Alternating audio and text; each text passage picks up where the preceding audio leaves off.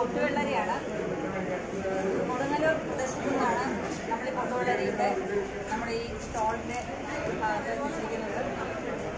ആ, ഇതിന്റെ പ്രസക്തി എന്താണെന്ന് വെച്ച് കഴിഞ്ഞാൽ ഭൗമസൂത്രിക പദവി ഈ അടുത്ത് കിട്ടിയ ഒരു ഫ്രൂട്ടാണിത്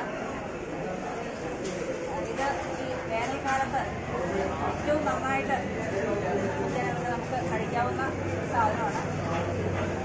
മറ്റ് കൂൾ ഡ്രിങ്ക്സിലൊക്കെ വാങ്ങി കഴിക്കുന്നതിന് പകരം കർഷകർ തന്നെ കൃഷി ചെയ്തുണ്ടാക്കുന്ന ഈ വെള്ളരി ഇനിയും കൃഷി വകുപ്പിന്റെ മുന്നേറ്റത്തോടുകൂടി തന്നെ പ്രചാരത്തിലേക്ക് കൊണ്ടുവരേണ്ടതുണ്ട് കാരണം ഇത് ചില പ്രദേശങ്ങളിൽ മാത്രമാണ്. തൃശ്ശൂരിന്റെ കൊടുങ്ങല്ലൂർ ചാലക്കുടി പ്രദേശങ്ങളിൽ മാത്രമായിട്ടാണ് ഈ കൃഷി കണ്ടുവരുന്നത്.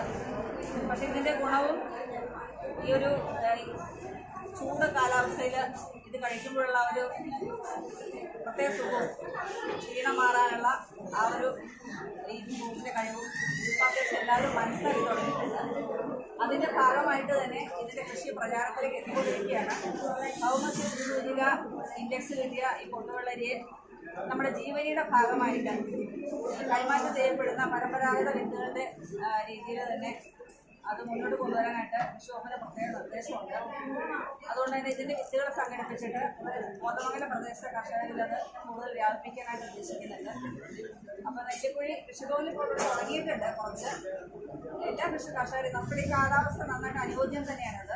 അപ്പൊ ഇത് പക്ഷേ കൃഷിക്കാരൊന്ന് മനസ്സിലാക്കിയിട്ട് ഇത് ഇതിന്റെ കൃഷി ഒന്ന് മുന്നോട്ട് കൊണ്ടുവരാനുണ്ട്.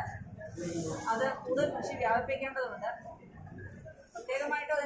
സാമ്പത്തിക സഹായം നിലവിൽ ഇല്ല എങ്കിൽ തന്നെ ഇതിന്റെ പബ്ലിസിറ്റി കൊണ്ടുവന്നുകൊണ്ട് കൃഷിക്കാരിലേക്ക് ഇതിന്റെ താല്പര്യം കൊണ്ടുവരാനായിട്ട് ഞാൻ ഉദ്ദേശിച്ചുകൊണ്ട് തന്നെയാണ് ഇവിടേക്ക് സി ഐയിലേക്ക് എത്തിച്ചിട്ടുള്ളത്.